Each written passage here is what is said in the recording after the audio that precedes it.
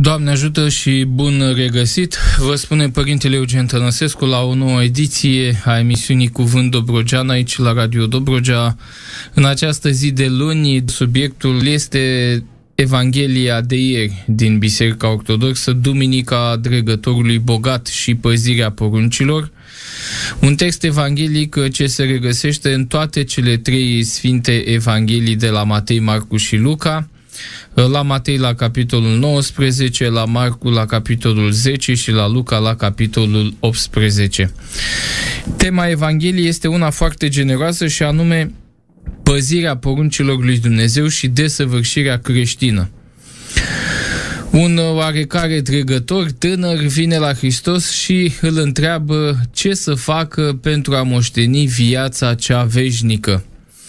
Așadar, vedem uh, un lucru am spune noi, curios pentru vremurile noastre, un dregător, adică un om cu o funcție publică înaltă, am putea spune, dregătorii erau oameni care aveau funcții publice înalte și tânăr, așadar putem spune că avea toată viața înainte și era dornic de afirmare, e bine, un astfel de dregător are o preocupare și anume moștenirea vieții celei de veci. El vine și îl întreabă pe Hristos, bunul învățător, ce să fac ca să moștenesc viața cea veșnică. Această preocupare nu era una de fațadă. Vom vedea că tânărul era destul de serios preocupat de viața spirituală. Spuneam că e un lucru curios, deoarece astăzi poate Puțini sunt cei care, fiind în funcții publice înalte, se preocupă de viața spirituală. Datorită faptului că funcțiile publice înalte adeseori predispun la ispita bogăției. Ispită pe care și acest tânăr o va avea și nu știm dacă a înfruntat-o sau nu, nu știm dacă a trecut-o sau nu, Textul evanghelic este neclar în această privință, dar cert este că o avea. Însă, preocuparea lui pentru viața veșnică era evidentă deoarece textul evanghelic de la Marcu, de la Sfântul Evanghelist Marcu, ne dă un amănânt foarte important și anume deși era un oarecare, deoarece Scriptura nu-l numește cu numele, nu-i dă numele, semn că nu conta prea mult persoana tânărului. Mulți din vremea aceea și din vremea aceasta a noastră, putând fi în locul tânărului, mulți bogați pot fi în locul acestui tânăr dregător, e bine, Evanghelia de la Marcu ne spune că el a alergat la Hristos îngenunchind înaintea lui. Ori a îngenunchea în fața cuiva presupune într-adevăr o trăire religioasă, presupune o preocupare spirituală. De aceea pe acest tânăr uh, dregător nu-l putem suspecta de fariseism. Întrebarea lui era sinceră către Hristos. Hristos însă, cunoscându-l și cu Duhul, Dumnezeu fiind, îi răspunde pentru ce mă numești bun? De ce îmi zici bun? Nimeni nu este bun decât unul Dumnezeu. Prin aceasta Hristos vrea să ne arate imperfecțiunea firii umane. Vrea să ne arate un lucru evident, a spune eu, pentru noi creștinii, și anume că firea umană este slabă când vine vorba de desăvârșire, este imperfectă și are nevoie de ajutor. Firea umană nu este bună în viziunea Mântuitorului din moment ce îi spune ce să facă să am viața veșnică bunul învățător și Hristos îi spune nimeni nu este bun decât numai unul Dumnezeu. Prin aceasta însă Dumnezeu nu desconsideră firea umană, ci vrea să ne arate că de la Adam încoace toți avem tendința de a cădea. Vrea să ne arate că suntem oameni slabi atunci când ne socotim a fi singuri, că nu suntem buni prin definiție, că nu suntem buni pentru că așa am vrea noi, ci bunătatea se poate dobândi numai prin Dumnezeu. Dumnezeu este singurul bun, iar noi dacă vrem să devenim buni, trebuie să-i urmăm Lui. Aceasta este esența cuvântului rostit de Hristos, nimeni nu este bun decât numai unul Dumnezeu. Alminterea ar însemna ca Hristos să contrazică pasajul uh, scripturistic al facerii, unde se spune că Dumnezeu le-a făcut pe toate bune foarte.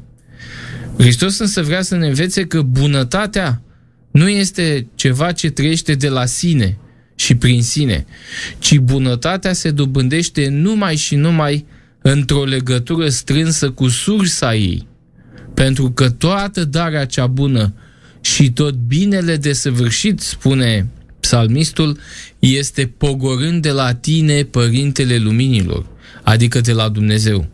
Prin urmare, câtă vreme vom vedea toate lucrurile simple și prin ele însele, ele nu sunt bune. Ele devin bune atunci când le relaționăm cu Dumnezeu. După care Hristos, nevrând să-l descurajeze, îi spune și de vrei să intri în viață, de vrei să intri în viață, adică să intri în această viață veșnică, păzește poruncile. Tânărul întreabă care porunci, iar Hristos îi spune foarte clar să nu ucizi, să nu săvârșești adulter, să nu furi, să nu mărturisești strâmb, să nu înșel pe nimeni, cinstește pe tatăl tău și pe mama ta. Adică îi enumeră din poruncile Vechiului Testament, pe care desigur că tânărul le știa. Prin aceasta Hristos prețuiește și Vechiul Testament, vedeți, nu-l descalifică complet, dar vom vedea puțin mai încolo, îl desăvârșește. Pentru că, așa cum spuneam și altă dată, Vechiul Testament este imperfect. Cele 10 porunci din Vechiul Testament sunt uh, și ele perfectibile, în sensul că, sigur, prin ele și prin enunțul lor, ele pot constitui un început de îndreptare a omului, pentru că majoritatea au acest enunț să nu furi, să nu săvârșești adulter, au un enunț nepermisiv la adresa păcatului. Cu alte cuvinte, să nu faci păcatul. Dar atât reușesc să spună aceste porunci. Omului însă îi va trebui ceva mai mult. Pentru că omul nu este făcut ca o ființă care să nu facă nimic, ci din potrivă, omul a fost creat să fie viu. Și atunci, nu numai că omul să nu facă răul, dar mai mult decât a nu face răul, trebuie să facă binele. Dar pentru început, pentru a începe viața veșnică, ele sunt suficiente. Adică ele ne protejează de păcat. Ele ne păzesc de păcat, aceste porunci. Aceste porunci ale Vechiului Testament sunt de fapt o minima moralia, am spune noi, o morală minimă de care omul trebuie să dea dovadă în viață, am spune indiferent de religia lui, pentru că aceste porunci privesc direct firea umană. Firea umană cea slăbită de păcat și care poate deveni bună numai și numai raportând-o la Dumnezeu, începe să devină bună în momentul în care respectă aceste porunci, dar doar începe. Continuarea va fi ceva mai înaltă. Tânărul înțelege aceste porunci și spune un lucru foarte important pentru poziția sa de dregător și anume toate acestea le-am păzit din tinerețile mele. Ba chiar Sfânta Evanghelie de la Matei ne dă un detaliu și zice că tânărul i-a zis toate acestea le-am păzit din copilăria mea. Ce mi mai lipsește? Foarte important această afirmație a tânărului. Deci el din copilărie fusese bine crescut. Am spune noi popular, avea cei șapte ani de acasă. Nu săvârșea adulter, nu cisese, cinstea părinții, nu mărturisea strâmb, respecta poruncile Vechiului Testament, însă în sinea lui își dădea seama că este insuficient. Dovadă este întrebarea lui ce mi mai lipsește. Tânărul se simțea neîmplinit.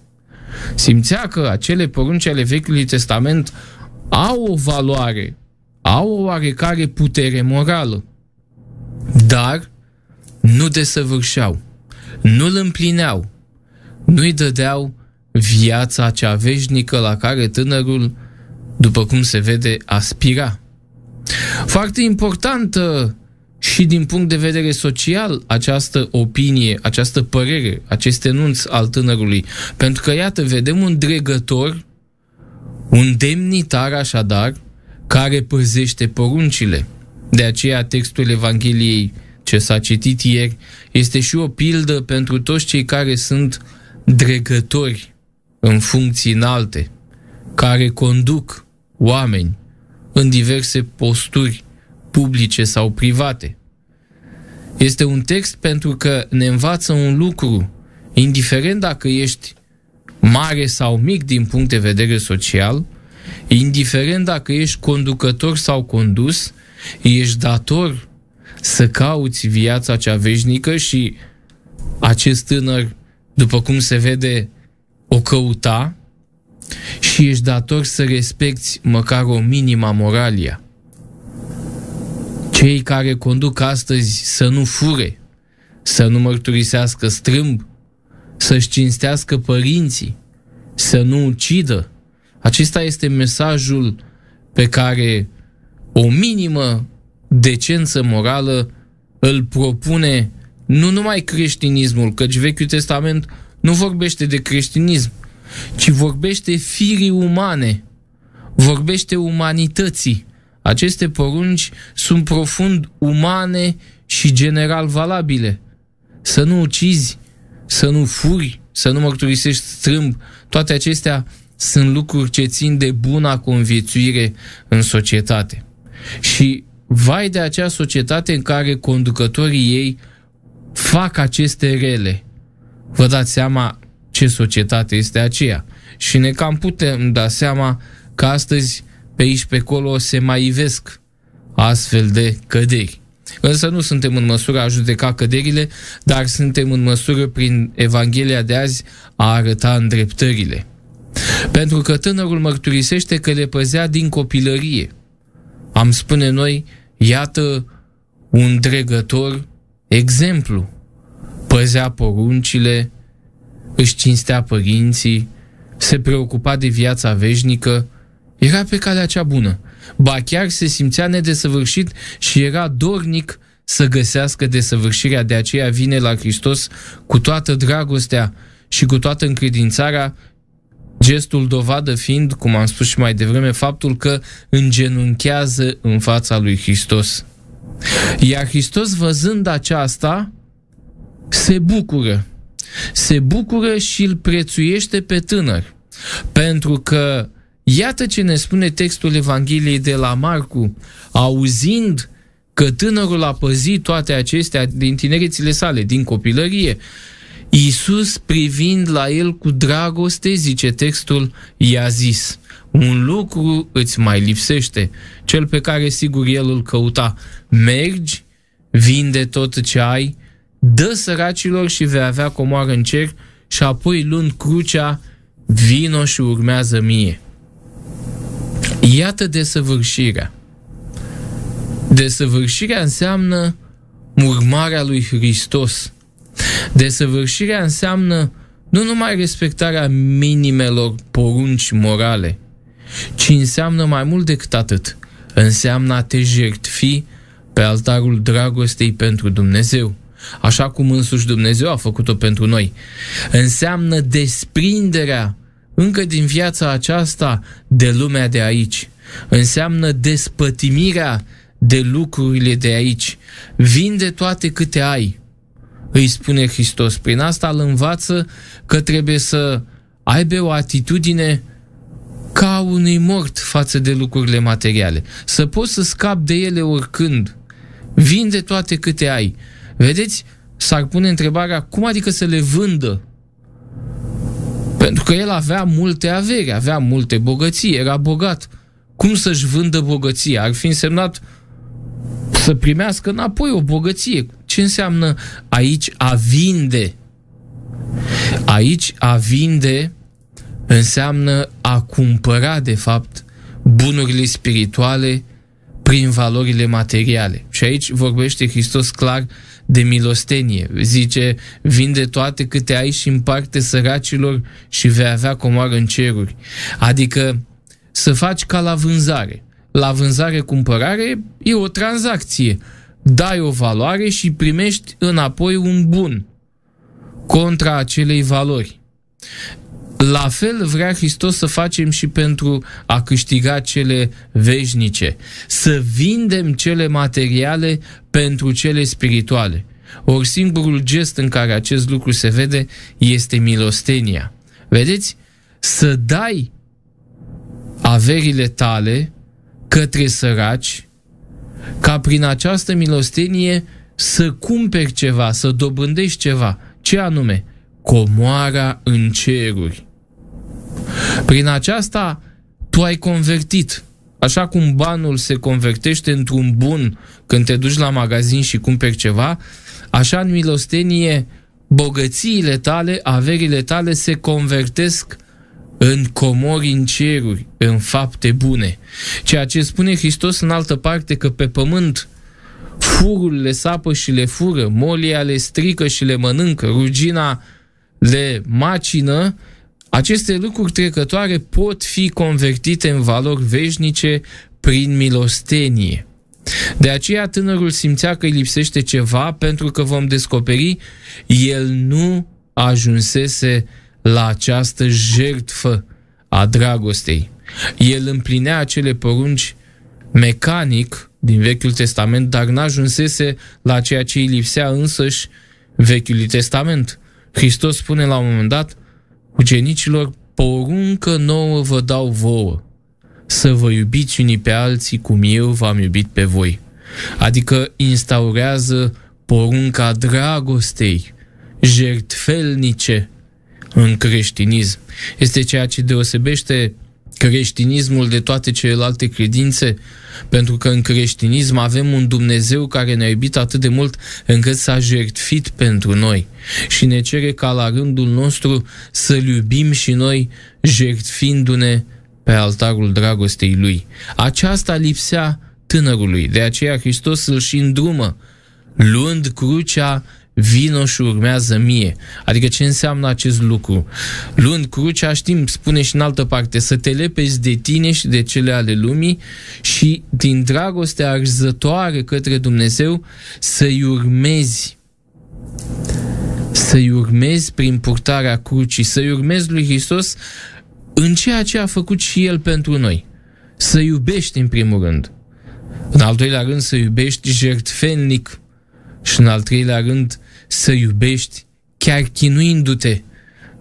Și cuvântul acesta este greu, pentru că Sfântul Apostol Pavel spune cuvântul crucii pentru cei ce pierd este nebunie, dar pentru noi este mântuire, este puterea lui Dumnezeu. E greu lumii de astăzi axată pe profit, pe dorință de a avea cât mai mult. Este greu să înțeleagă lumii de astăzi esența verbului a fi, Lumea de astăzi vrea să se construiască pe verbul a avea. Lumea de astăzi se definește prin ce are. Omul însă în fața lui Dumnezeu se definește prin ce este. A fi contează, nu a avea. De aceea îi spune să-și ia crucea, să vină și să urmeze, pentru că el nu trebuia să mai aibă avere, ci trebuia să fie iubire. Trebuia să-și convertească bogăția lui materială în iubire jertfelnică. Ori asta se face prin asumarea crucii, că și Hristos asta a făcut când s-a răstignit pentru noi. S-a lepădat de slava sa, ne învață Sfântul Apostol Pavel, și s-a deșertat pe sine făcându-se om muritor și încă lăsându-se răstignit cu moarte, răstignit pe cruce de moarte, pentru că aici este taina iubirii. Iubirea este puternică când este jertfelnică, când dăruiește, nu când primește. Desigur, noi avem nevoie și nu facem acum o apologie a trăirii numai cu aer și cuvânt. Avem nevoie de cele materiale pentru a subzista pe acest pământ, dar trebuie să Mănânci ca să trăiești, spunea un înțelept, nu să trăiești ca să mănânci. Din păcate, lumea de astăzi se definește exact pe dos a ceea ce spune Hristos aici. Și vedem că și acest tânăr este ispitit. Despre ce ispită însă și cum lucra ea, aflăm în partea a doua a emisiunii, imediat după o scurtă pauză. Cuvânt Dobrogean cu părintele Eugen Tănăsescu la Radio Dobrogea. Vino și vei avea un răspuns. Am revenit uh, la cuvântul Dobrogean de astăzi despre ispitele bogăției și despre desăvârșirea creștină. Textul evanghelic uh, din Sfânta Evanghelie de la Luca, la capitolul 18, s-a citit ieri în bisericile ortodoxe, îl găsim și la Sfânta Evanghelie de la Marcu, la capitolul 10 și la Sfânta Evanghelie de la Matei, la capitolul 19. Un tânăr dregător care era dornic de desăvârșire, dar care era foarte bogat și care avea o problemă. Era ispitit de bogăție. Bogăția zice-se că ar fi bine să o ai, pentru că, vedeți, duminica cealaltă, duminica trecută, în urmă cu o săptămână, s-a citit o altă evanghelie care face referire la bogăție a bogatului căruia i-a rodit țarina. Și acolo vedem această problemă cum bogăția pune încet, încet stăpânire pe tine. Acest tânăr era și el ispitit de acest fenomen, pentru că atunci când aude de desăvârșirea pe care Hristos i-o propune, pleacă întristat. Zice textul de la Luca, căci era foarte bogat. Ăsta era motivul întristării lui. De fapt, Hristos nu i-a propus nimic nou, am spune noi. Tânărul se știa cumva într-o lipsă, simțea că ceva îl ține pe loc. Însă a venit la Hristos doar pentru a-și lămuri această lipsă sufletească. Și Hristos, ca un iscusit doctor, pentru că este creatorul nostru și suntem chipul lui Dumnezeu, i-a arătat imediat unde este problema. Problema era la faptul că își cam lipise inima de averea lui. A plecat întristat căci avea multe avuții, spune textul de la Matei. Iar Marcu notează că a plecat mâhnit căci avea multe bogății. Deci bogăția lui era de fapt pricina întristării lui. Nu-i paradoxal? Să crezi în această idee că bogăția te poate mântui, să alergi după ea în viață și ea să ți se transforme în prilej de întristare. Cum se întâmplă acest paradox?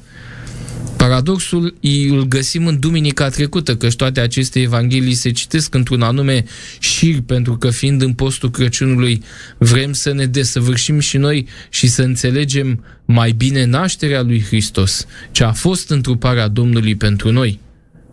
Această desăvârșire, această golire de slavă și această îndumnezeire a firii umane pe care o vom vedea la sărbătoarea nașterii Domnului. Din păcate, lumea de azi, veți vedea, Crăciunul încet, încet se transformă în altceva în societatea de astăzi, pentru că sunt mulți cei care sunt asemenea acestui tânăr. Ei se cred religioși păzind niște porunci, poate din tinerețe, poate din copilărie, dar uitând esența, dragostea și jertfelnicia. Și acest tânăr avea sufletul apăsat de propriile bogății, era ispitit și Hristos văzându-l întristat, zice și constată cât de greu vor intra cei ce au averi în împărăția lui Dumnezeu. Vedeți, nu e imposibil însă. Hristos spune nu cu un ton trist, ci arătând că există o posibilitate. E greu, într-adevăr, să intre bogatul în împărăția lui Dumnezeu, pentru că lupta lui de a-și desprinde inima de averile pe care s-a chinuit atâta timp să le strângă e foarte mare, dar nu e imposibil. Departe de Dumnezeu, gândul de a încuia ușa raiului celor bogați. Tot ce trebuie să facă este să-și convertească averea materială în bogăție spirituală. în dragoste. Căci dragostea sigur mântuiește. Nu știm despre acest tânăr dacă a înțeles sau nu până la capăt cuvântul Mântuitorului. Evanghelia nu ne spune dacă s-a dus și într-un final și-a vândut averea sau nu și-a vândut-o. Nu putem spune că a căzut, cum nu putem spune nici că s-a mântuit. Nu știm. Pur și simplu nu știm dacă acest tânăr, după ce a înțeles cuvintele Mântuitorului și s-a întristat și a plecat, nu știm ce a făcut. Și-a vândut sau nu și-a vândut averea. Semn tainic și ascuns pentru noi cei de astăzi că să nu judecăm pe bogați. Există și din partea săracilor această pornire răutăcioasă de a critica repede pe cei bogați. E adevărat, nu e o stare fericită bogăția. Îți face probleme, te face să-ți lipești inima de ea, zici tu că se asigură viața aceasta bogată și plină de bunătăți. Da, nu știi cât e viața aceasta și te trezești ca bogatul din Evanghelia trecută de acum o săptămână că vine noaptea în care vei pleca sau ziua cine știe și cele pe care le-ai pregătit ale cui vor fi. Nu e o stare fericită bogăția. Dar de ce săracul îl judecă pe bogat, asta este greu de înțeles. Doar dacă nu cumva îl invidiază. Pentru că poate și săracul și-ar dori să fie bogat și atunci îl invidiază și când uh, neputința este mare, îți mai rămâne strigatul din rărunchi și judecatul în ascuns. Lucru rău, de altfel, pentru că mai mult se păgubește săracul când critică pe bogat decât bogatul. Bogatul poate să-și transforme averea în mântuire. Săracul însă ce își mai transformă după ce a păcătuit? Sigur că și el poate prin pocăință, dar eu zic că mai grea este invidia decât bogăția.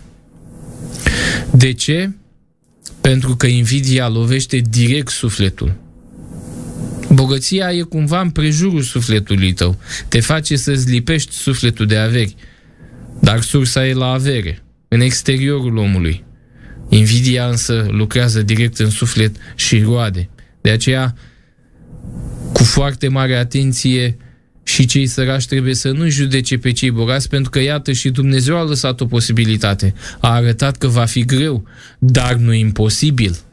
Pentru că va spune mai încolo, și cine poate să se mântuiască când întreabă ucenicii, văzând că cu greu va intra bogatul în împărăție și Hristos vom vedea folosește și o figură de stil remarcabilă, dar când întreabă ucenicii, păi dacă așa stă problema, greu se mântuie bogatul. Ce e bogat să poate mântui? Cine mai poate să se mântuiască? E adevărat că cele ce sunt cu neputință la oameni, zice Dumnezeu, sunt cu putință la Dumnezeu. Adică ce înseamnă? Asta înseamnă că ceea ce noi aparent nu putem, oameni fiind, ceea ce nouă ni se pare imposibil de realizat în chip practic și logic, în virtutea logicii divine și în practicarea virtuților creștine, ele pot fi perfect posibile. Când dragostea ți se pare imposibilă, ea devine posibilă. Atunci când urmezi lui Hristos, atunci când îl înțelegi pe Hristos, greu se va mântui bogatul. Zice Hristos că mai repede trece cămila prin urechile acului decât să intre bogatul în împărăția lui Dumnezeu. Dar sigur că nu e imposibil. Cum faci însă Camila să treacă prin urechile acului? Prin milostenie ne-a arătat calea Hristos. Sigur, aici e o discuție puțin teologică. Unii spun că acest cuvânt Camila se referă la un odgon gros, o funie foarte groasă, care nu e așa, e cam imposibil să treacă prin urechile acului. Alții susțin de fapt că Hristos se referă aici chiar la o cămilă. Este vorba de o figură de stil pe care o face Mântuitorul. Vrea să arate, în altă parte va spune că strecurați țarul și înghițiți cămila. Că vă preocupați de cele mărunte și le uitați pe cele mari, pe cele importante. Hristos face o figură de stil pentru a înțelege greutatea mântuirii bogatului.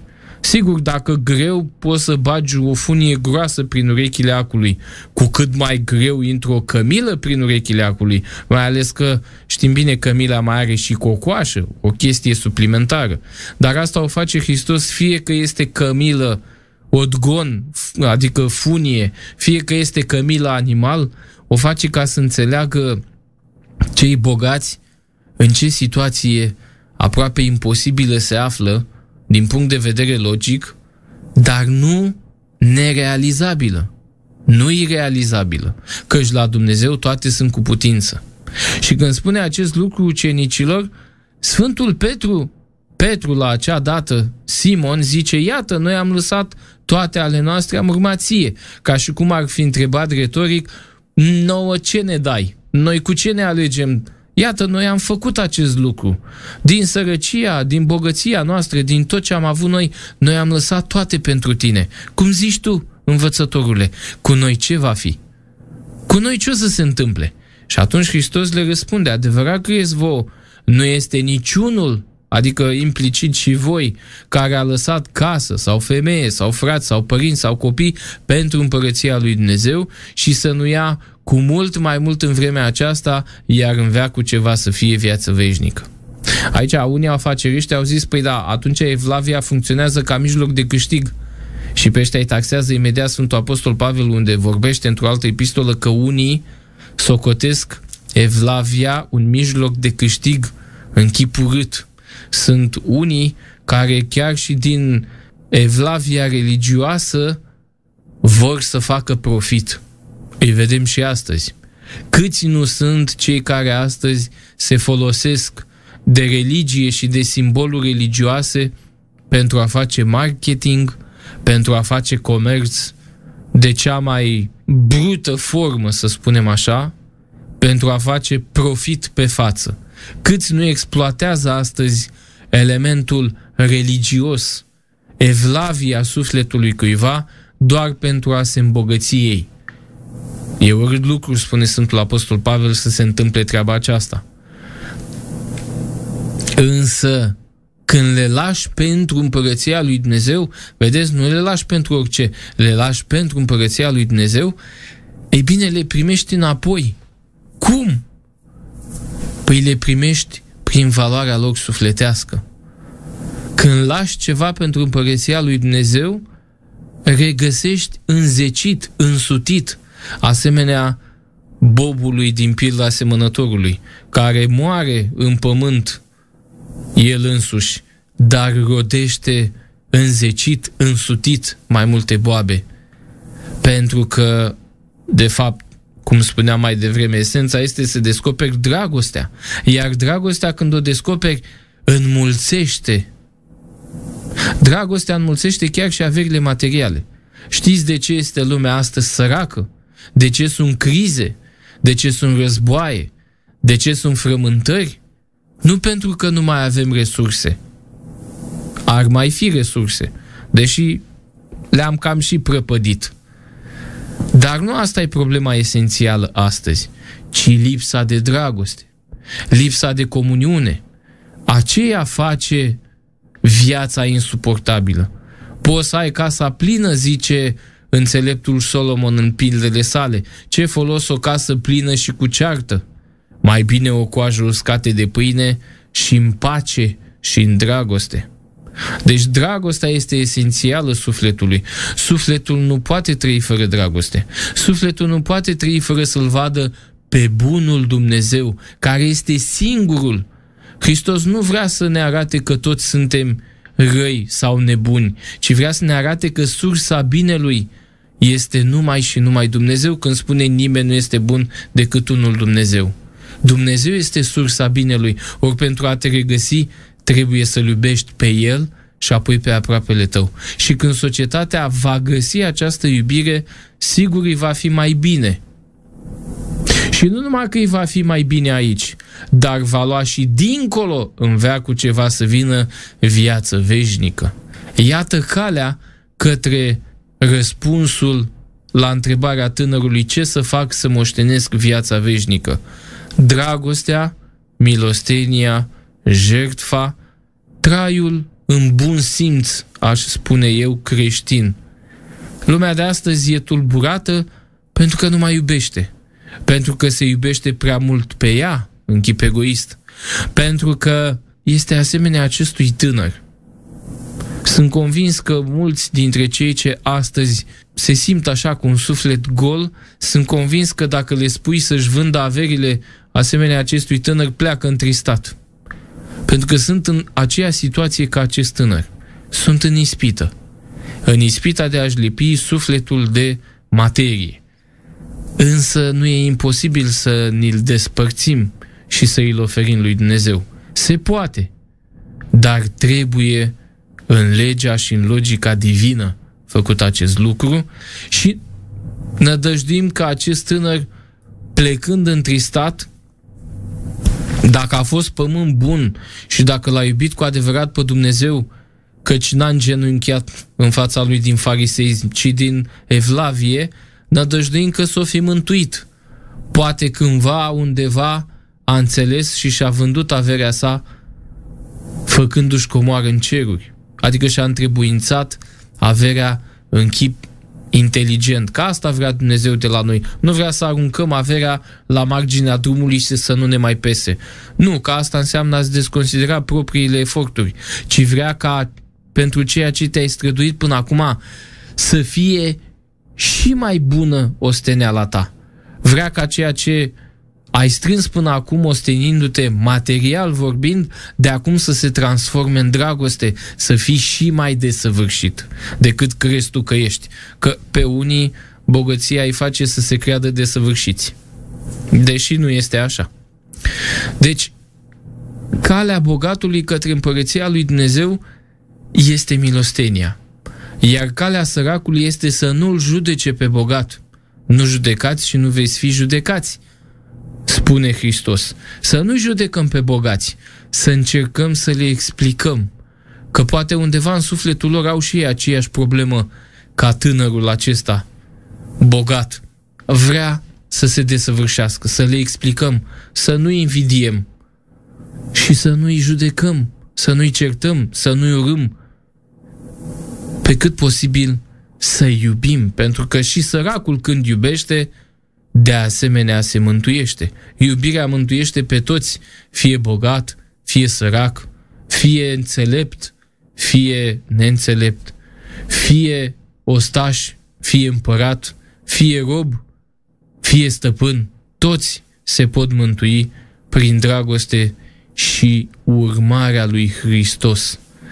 De aceea să urmăm și noi Domnului, în post acum, găsindu-l la Crăciun, găsindu-l în nașterea sa preasfântă din preasfânta născătoare de Dumnezeu și mai ales să fim atenți la ispitele astea care se pregătesc acum, că intrăm în luna cadourilor, intrăm în perioada sărbătorilor și câte ispite sunt de sărbători. Până atunci însă ne bucurăm mâine de Sfântul Apostol Andrei, apostolul nostru al românilor, care ne conferă identitate spirituală, un popor întreg născut creștin și cu un creștinism de origine apostolică. Până atunci însă Părintele Eugen Tănăsescu vă mulțumește pentru atenția cu care ne-ați urmărit. Toate cele bune, Doamne ajută! Cuvânt Dobrogean cu Părintele Eugen Tănăsescu la Radio Dobrogea. Vino și vei avea un răspuns.